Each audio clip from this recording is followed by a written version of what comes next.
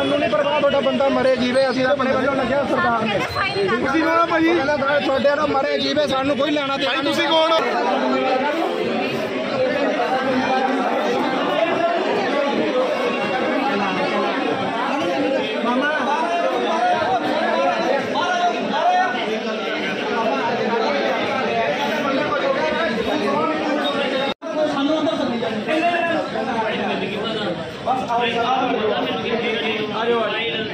ਚਾਰ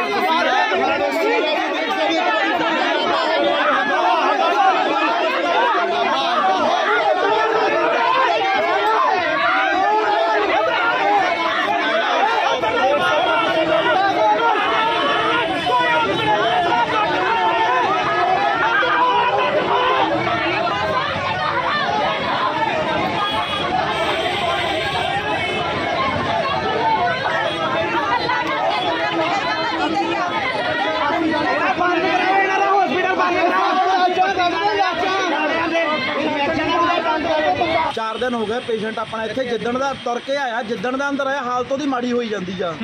ਨਾ ਹੀ ਨਹੀਂ ਰੈਫਰ ਕੀਤਾ ਜੇ ਤੁਹਾਡੇ ਕੋਲ ਨਹੀਂ ਲਾਇਆ ਤੁਸੀਂ ਰੈਫਰ ਕਰ ਦਿਓ।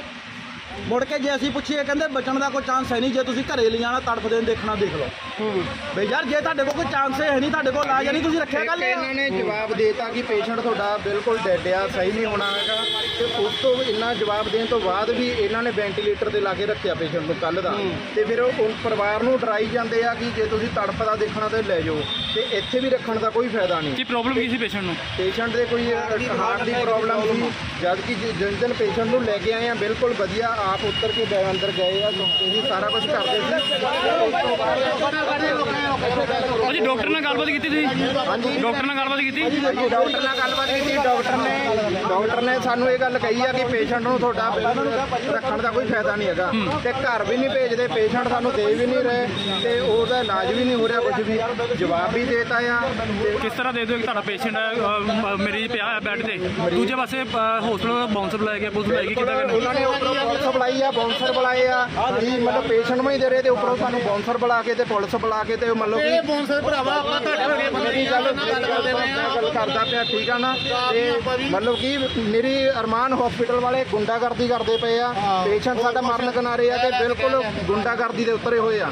ਚਾਰ ਦਿਨ ਤੋਂ ਪੇਸ਼ੈਂਟ ਸਾਡਾ ਬਿਲਕੁਲ ਮਰਨ ਕਿਨਾਰੇ ਆ ਠੀਕ ਆ ਜੀ? ਤੇ ਸਾਡੀ ਇਹ ਮੰਗ ਆ ਕਿ ਸਾਡਾ ਪੇਸ਼ੈਂਟ ਆ ਸਾਡੇ ਹਵਾਲੇ ਕਰਨ ਤੇ ਅਸੀਂ ਆਪਾਂ ਨੂੰ ਹੋਰ ਹੋਰ ਹਸਪੀਟਲ ਲੈ ਕੇ ਜਾਈਏ। ਡਾਕਟਰ ਨੇ ਬਾਜੀ ਡਾਕਟਰ ਨੂੰ ਫੀਸ ਜਮ੍ਹਾਂ ਕਰਾ ਦਿੱਤੀ ਸੀ। ਅੱਜ ਅੱਜ ਦੇ ਦਿਨ ਦੀ ਉਹਨਾਂ ਨੇ ਫੀਸ ਜਮ੍ਹਾਂ ਕਰ ਲਈ ਸੀ। 8000 ਦਾ ਬਿੱਲ ਬਣਾਇਆ ਸੀ। ਇਹ ਮਿਸਟਰ ਹਰਜੀਤ ਸਿੰਘ ਪੇਸ਼ੈਂਟ ਸੀਗੇ ਜੀ ਇੱਥੇ। ਜੀ। ਇਹ ਸਾਡੇ ਕੋਲ ਐਡਮਿਟ ਹੋਏ ਸੀਗੇ 16 ਮਾਰਚ ਨੂੰ। ਤੇ ਪੇਸ਼ੈਂਟ ਨੂੰ ਹਾਰਟ ਦੀ ਔਰ ਸਾਹ ਦੀ ਦੋਨਾਂ ਦੀ ਪ੍ਰੋਬਲਮ ਸੀਗੀ। ਪੇਸ਼ੈਂਟ ਦੀ ਕੰਡੀਸ਼ਨ ਕਾਫੀ ਕ੍ਰਿਟੀਕਲ ਸੀਗੀ। ਪਰ ਕੱਲ ਇਹਨਾਂ ਨੂੰ ਕੱਲ ਕੱਲ ਕੰਡੀਸ਼ਨ ਕਾਫੀ ਸੀਰੀਅਸ ਹੋ ਗਈ ਸੀ ਤੇ ਰਾਤ ਨੂੰ ਇਹਨਾਂ ਨੂੰ ਦੱਸ ਕੇ ਕਿ ਪੇਸ਼ੈਂਟ ਦੀ ਮੌਤ ਨੂੰ ਵੀ ਹੋ ਸਕਦੀ ਹੈ। ਇਹਨਾਂ ਨੂੰ ਅਸੀਂ ਵੈਂਟੀਲੇਟਰ ਤੇ ਵੀ ਪਾਇਆ। ਪੇਸ਼ੈਂਟ ਦਾ ਸਾਹ ਠੀਕ ਨਹੀਂ ਸੀ ਆ ਰਿਹਾ ਹਾਰਟ ਦੀ ਵੀ ਵਰਕਿੰਗ ਵੀ 25-30% ਸੀਗੀ। ਸਾਰੇ ਇਹਨਾਂ ਕੋਲ ਸਾਈਨ ਲੈ ਕੇ, ਪੂਰੀ ਰਜਾਮੰਦੀ ਲੈ ਕੇ ਅਸੀਂ ਇਹਨਾਂ ਨੂੰ ਵੈਂਟੀਲੇਟਰ ਤੇ ਪਾਇਆ ਤੇ ਇਹਨਾਂ ਨੂੰ ਸੈਟਲ ਕਰਨ ਦੀ ਕੋਸ਼ਿਸ਼ ਕੀਤੀ ਔਰ ਇਹ ਸਾਰਾ ਕੁਝ ਇਹਨਾਂ ਨੂੰ ਦੱਸ ਕੇ ਕੀਤਾ ਗਿਆ ਕਿ ਪੇਸ਼ੈਂਟ ਦੀ ਜਾਨ ਵੀ ਜਾ ਸਕਦੀ ਹੈ ਟ੍ਰੀਟਮੈਂਟ ਦੇ ਦੌਰਾਨ। ਪੇਸ਼ੈਂਟ ਦੀ ਹਾਲਤ ਕਾਫੀ ਜ਼ਿਆਦਾ ਨਾਜ਼ੁਕ ਸੀਗੀ, ਪਰ ਆਪਣੇ ਵੱਲੋਂ ਜੋ ਵੀ ਕੋਸ਼ਿਸ਼ ਕਰਕੇ ਅਸੀਂ ਉਹਨਾਂ ਨੂੰ ਸੈਟਲ ਕਰਨ ਦੀ ਕੋਸ਼ਿਸ਼ ਕੀਤੀ ਨਾਈਟ 'ਚ। ਤੇ ਅੱਜ ਮਾਰਨਿੰਗ 'ਚ ਵੀ ਕੰਡੀਸ਼ਨ ਉਹਨਾਂ ਨੂੰ ਦੱਸੀ ਗਈ ਹੈ। ਆਫਟਰਨੂਨ 'ਚ ਉਹਨਾਂ ਦੇ ਇੱਕ ਰਿਲੇਟਿਵ ਵੀ ਮਿਲੇ, ਉਹਨਾਂ ਨੂੰ, ਉਹਨਾਂ ਨੇ, ਉਹਨਾਂ ਨੂੰ ਫਿਰ ਮੈਂ ਦੱਸਿਆ ਕਿ ਪੇਸ਼ੈਂਟ ਦੀ ਕੰਡੀਸ਼ਨ ਕਾਫੀ ਕ੍ਰਿਟੀਕਲ ਹੈ। ਉਹਨਾਂ ਨੇ ਮੈਨੂੰ ਉਸ ਵੇਲੇ ਇਹੀ ਕਿਹਾ ਕਿ ਅਸੀਂ ਪੇਸ਼ੈਂਟ ਨੂੰ ਰੈਫਰ ਕਰਾਉਣਾ ਚਾਹੁੰਦੇ ਹਾਂ। ਮੈਂ ਠੀਕ ਹੈ, ਤੁਸੀਂ ਲੈ ਕੇ ਜਾ- ਲੈ ਕੇ ਜਾ ਸਕਦੇ ਹੋ।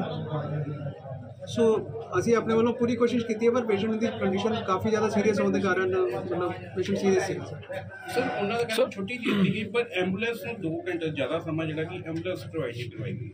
ਉਹ ਇੱਥੇ ਇੰਨਾ ਜ਼ਿਆਦਾ ਹੀ ਨਿਊਸੈਂਸ ਸਪਰੈਡ ਕਰ ਰਹੇ ਸੀਗੇ ਕਿ ਮਤਲਬ ਤੁਸੀਂ ਕਰ ਹੀ ਨਹੀਂ ਸਕਦੇ ਸੀਗੇ। ਮਤਲਬ ਤੁਸੀਂ ਸਾਡੇ ਐਚਆਰ ਹੈਗੇ ਇਹਨਾਂ ਨਾਲ ਉਹਨਾਂ ਨੇ ਜ਼ੋਰ ਜ਼ਬਰਦਸਤੀ ਕੀਤੀ ਇਹਨਾਂ ਨਾਲ ਛਪਟੀ ਕੀਤੀ ਸਾਡਾ ਰਿਕਾਰਡ ਵੀ ਉਹਨਾਂ ਨੇ ਮਤਲਬ ਛੀਨਣ ਦੀ ਕੋਸ਼ਿਸ਼ ਕੀਤੀ ਔਰ ਇਸ ਲੈ ਗਏ ਨੇ।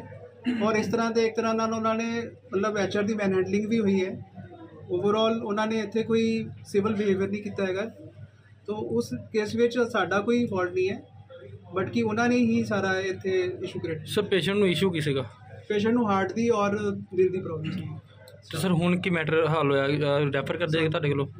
ਉਹ ਕਹਿੰ ਚਾਹ ਉਹ ਕਹਿ ਰਹੇ ਸੀ ਕਿ ਅਸੀਂ ਰੈਫਰ ਕਰਾਉਣਾ ਚਾਹੁੰਦੇ ਹਾਂ ਤੇ ਅਸੀਂ ਉਹਨਾਂ ਦੀ ਮਰਜ਼ੀ ਨਾਲ ਉਹਨੂੰ ਰੈਫਰ ਕਰ ਦਿੱਤਾ। ਸਰ ਇੱਕ ਹੋਰ ਇੱਥੇ ਮਾਮਲਾ ਸਾਹਮਣੇ ਆ ਰਿਹਾ ਇੱਕ ਹੋਰ ਪਰਿਵਾਰ ਜਿਹੜਾ ਕਿ